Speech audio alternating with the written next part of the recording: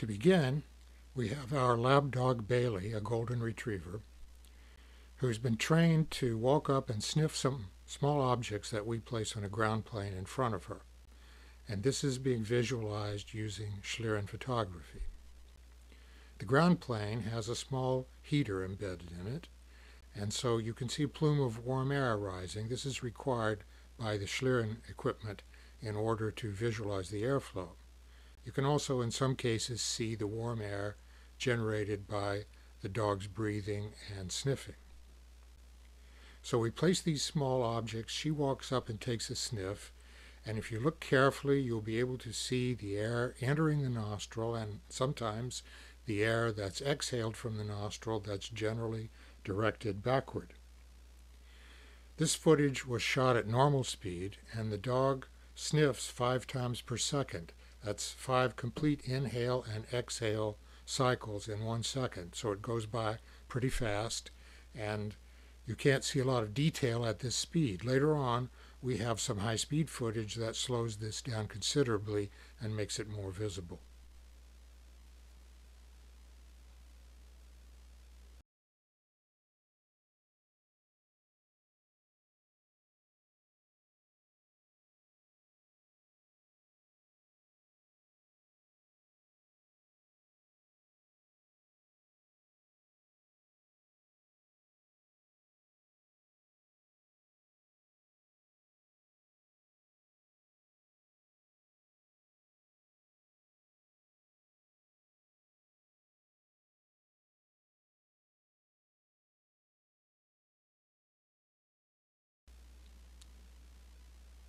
Now here's a different view of Bailey sniffing a dog treat. And the Schlieren optic shows us the exhaled jets of air from her nose, which are very turbulent and which are directed not straight forward but sort of down into the sides.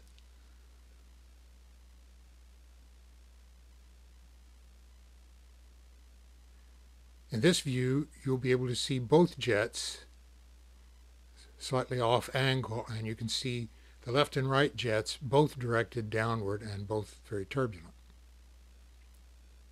This is an Airedale, a different breed of dog that sniffs somewhat differently, sniffing a scent from a squeeze bottle.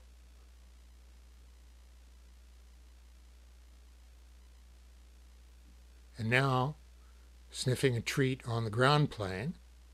Notice that this dog doesn't point its nose directly at the source of the scent, but rather moves up to it from behind. So now we look directly into the dog's nose using a ring light to see what's inside. And you can see the mid-lateral slits at either side. This is where the exhaust jets come out that you saw earlier in the Schlieren footage. And you can also see here in slow motion, so as to make it clearer, an orifice up toward the top of the inside of the nostril the alar fold and it opens to allow air to go in during the inhale stroke of sniffing. And that air goes into a tube that leads all the way to the back of the nose called the tube is called the dorsal meatus and it leads directly back to the olfactory area. So on inhale, it directs the air straight back, and on exhale, those midlateral slits cause the air to form jets, which, as we we've seen and we'll see more detail later, these jets tend to stir up the environment and they tend to induce an airflow to help draw air into the nose for sniffing.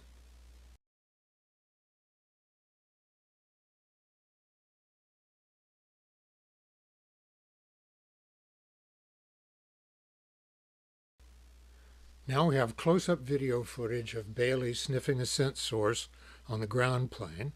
She comes up from behind it, sniffing. This is in slow motion. Inhale, exhale, inhale, exhale. Notice the turbulence pointed rearward. Oh, she licked it. Have to start over. Comes up from behind it. Inhale, exhale, inhale, exhale, inhale, exhale, with turbulence being directed backwards and drawing air in from forwards. Notice how close the dog's nose is to the scent source, essentially touching it. She has to get up close, and she scans around the area. not just the scent source, but to try to scan the area where it is in order to get the best signal.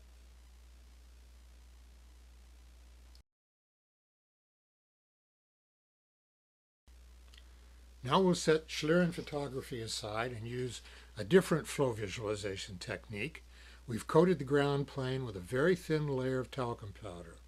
And we're looking at a black background and lighting the scene from the sides so that the powder particles will be illuminated and we can see them against the dark background. So here's Bailey sniffing something and you can see that she's kicking up a lot of particles. Not every surface has particles like this, this is a specialized technique to make the surface interaction of dog sniffing visible. When she exhales, you get these twin turbulent jets that you've already seen in the Schlieren footage. These strike the surface, they release particles, detached particles from the surface that tend to roll up in vortices, and now that the particles are free, they can actually be inhaled as secondary scent sources.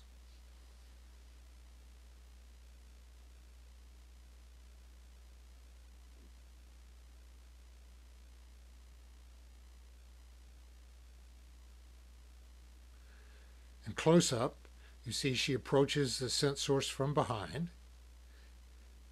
And now we don't see inhale with this technique, but we see the exhaled air disturbing particles.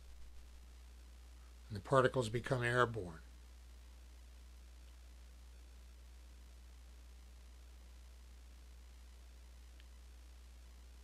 This is a little clearer when we look at it from the front. Dog approaches the scent source. And upon exhale, you see the twin jets interact on either side of the nose with the particles.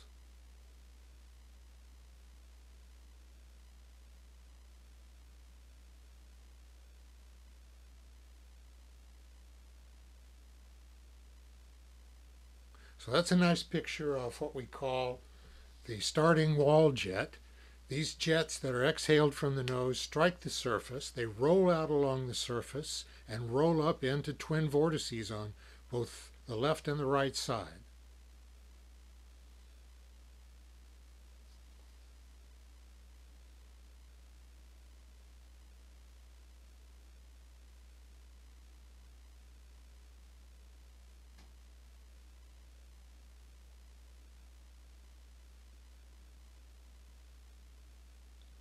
So the upshot of these particle image tracer videos is that canine olfaction and sniffing a surface is an active process. It's not just drawing a scent in, but it's actually interacting with the surface to disturb whatever's there, get some secondary scent sources in the air, get, get them airborne, that they can be inhaled, to actually sample the surface more effectively.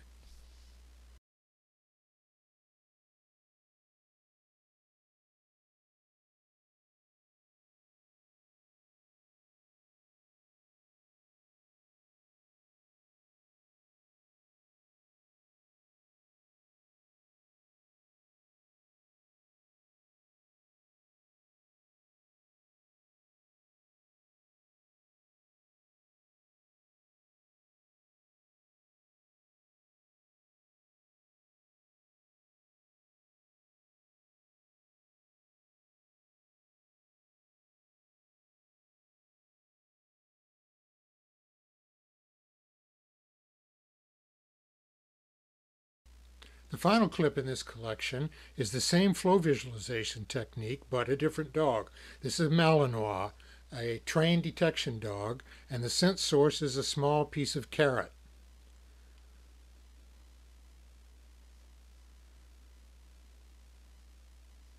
She doesn't like the carrot very much. Thank you for watching.